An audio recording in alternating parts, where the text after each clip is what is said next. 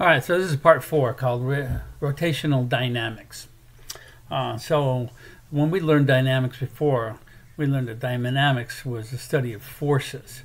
So now we're going to study the uh, the we're going to study forces that cause things to go uh, rotationally or, or, in a circle. So uh, just like uh, regular acceleration is proportional to force, angular acceleration is proportional to the net torque. So you put apply a torque to an object and it will change the angular acceleration. Just like the Newton's second law, but now it's uh, in a circle or uh, in a rotation.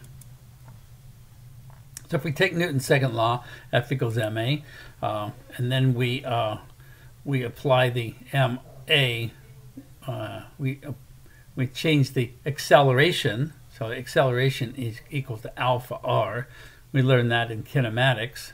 So we're replacing the a with r alpha. And then we multiply both sides of the equation with r, then torque is produced right here.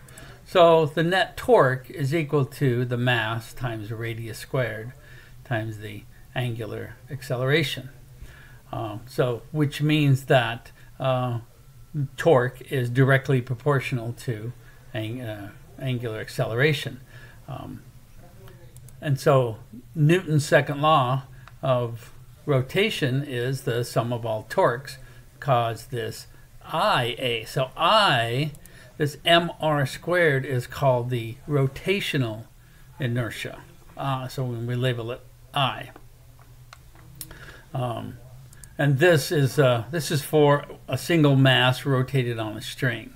Um, it's actually called the I is referred to as the mass distribution.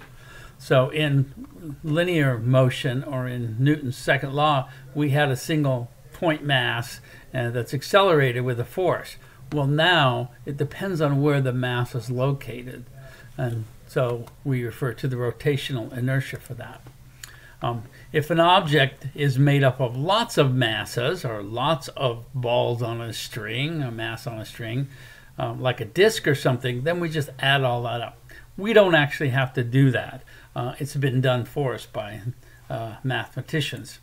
Um, I depends on the I depends on where the mass is located. Don't know how to get rid of that thing. Uh, bookers. Okay, so it depends on where the uh, where it's located. um, this is the formula you're going to find on your formula sheet where it says the angular acceleration is equal to the sum of all torque over I, or then they condescendingly call the sum of all I, uh, or sum of all torque, net torque. Uh, but you already know that. Okay, so um, there are various types of rotational inertia. We just learned this top one right here, uh, mr squared, and that's for a thin hoop um, that goes around sort of like a ball, you know, on a string or something like that, or uh, where the the axis of rotation is right to the center. Um, there's also the thin loop that's rotated where the axis is this way, and look how that changes. That changes the uh, the moment of inertia or the rotational inertia, sometimes referred to the moment of inertia. Changes the rotational inertia a lot. Um, you do not have to memorize these. We are mostly going to use this thin uh, hoop formula, the mr squared.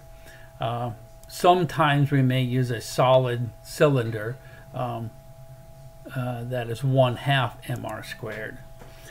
So either they'll they'll use a thin hoop or a wheel or something like that. That's what this is going to be. Um, they're going to use this moment of inertia or this one sometimes, but or they'll give you the value or the calculation for it. Um, you won't have to come up with these nor memorize all those. So don't worry much about it. You'll see how they work in examples. So let's see. This first example is what torque is required on a hoop. So we have this hoop uh, that has a radius of 1.5 meters and has a mass of 5 kilograms. and we want to give it an angular acceleration of 2 radians per second squared. So we have to apply a torque. Uh, so a torque is a combination of, remember, the force uh, times the radius.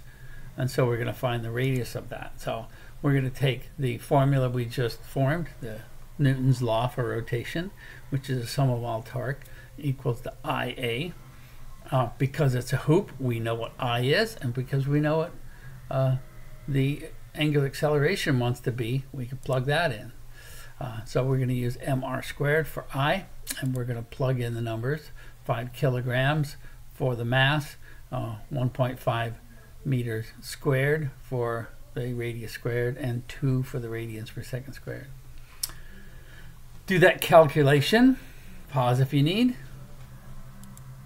and that comes out to 22.5 meter newtons for the, the torque to supply that hoop with an angular acceleration um, what force would be required perpendicularly to the hoop. So now we want to figure out what the force is here in order to make this angular acceleration. Uh, and so we take the definition of torque, um, and it's going to be perpendicular, so we don't have to worry about the sine uh, of theta. And we just put, we're just going to solve for the force. I did that algebraically, or you could plug in the numbers here and then divide. So we take the torque of 22.5, we divide it by the radius of 1.5, and that comes out to 15 newtons. Um, so that says that 15 newtons is applied at this radius, and it will cause this hoop to have an angular acceleration of 2 radians per second squared. So this Newton's second law of rotation, uh, sigma tau equals I alpha um, uh, is useful in problems like this. So we have a block of mass. This is the hanging block of 7 kilograms. It's hung from a pulley. And the pulley has a radius of 0.15 meters and a mass of 2.5 kilograms. And we're going to try to find the angular acceleration if I equals 1 half mr squared. So see, they're giving us the uh, rotational uh, inertia there. Uh, so on this problem, since how we want angular acceleration, hmm, well, that comes right from uh, Newton's second law. We can calculate this A. All we have to simply do is know what I is and know what the torque is. Well, the I is given in the problem, so we're going to put that 1 half mr squared.